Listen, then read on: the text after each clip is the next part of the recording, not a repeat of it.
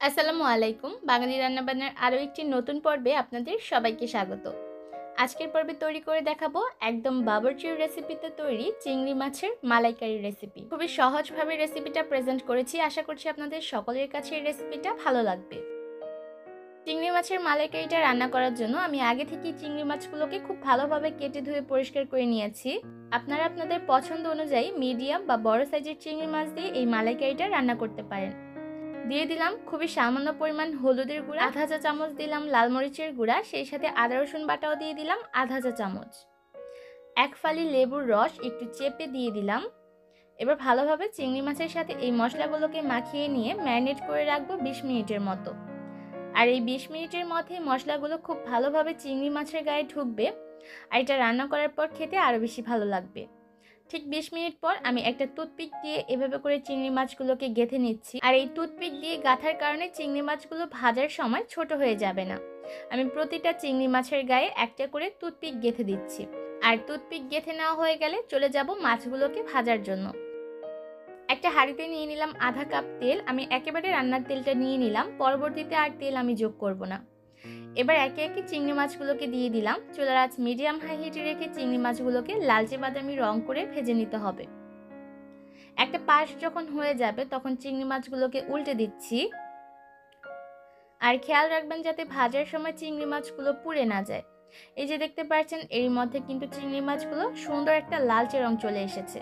ঠিক এই পর্যায়ে আমি চিংড়ি মাছগুলোকে চুলা থেকে নামিয়ে নিব।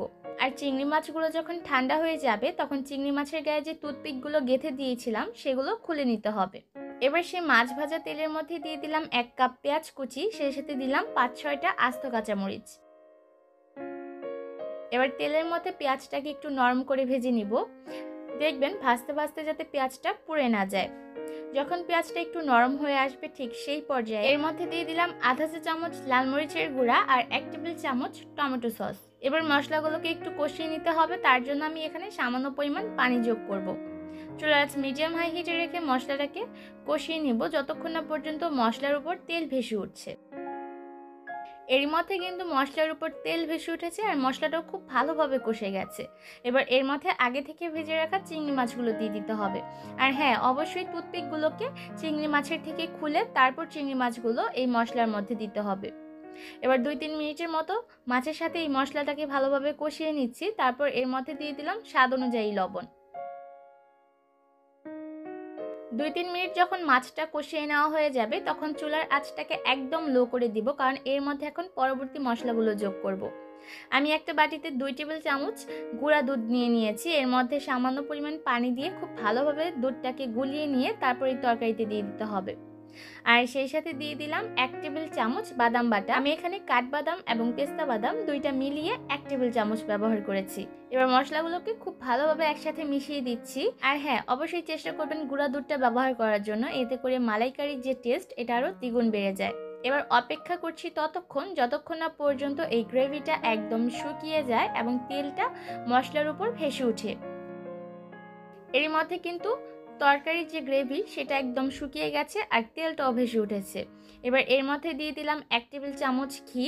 আর রান্নার শেষে যদি এভাবে একটু ঘি ব্যবহার করেন, তাহলে রান্নার ফ্লেভারটা আরও দ্বিগুণ বেড়ে যায়। এবার ভালোভাবে নেড়ে চেড়ে মিশিয়ে দিলেই কিন্তু মালাইকারিটা খাওয়ার জন্য একদম রেডি এবার চিংড়ি মাছের মালাইকারিটাকে আমি চুলা থেকে নামিয়ে একটা সার্ভিং ডিশে তুলে নিব। আশা করছি আজকের এই সহজ রেসিপি আপনাদের কাছে ভালো লেগেছে। বাড়িতে অবশ্যই ট্রাই করবেন। আর খেয়ে কেমন লাগল কমেন্টের মাধ্যমে জানাবেন।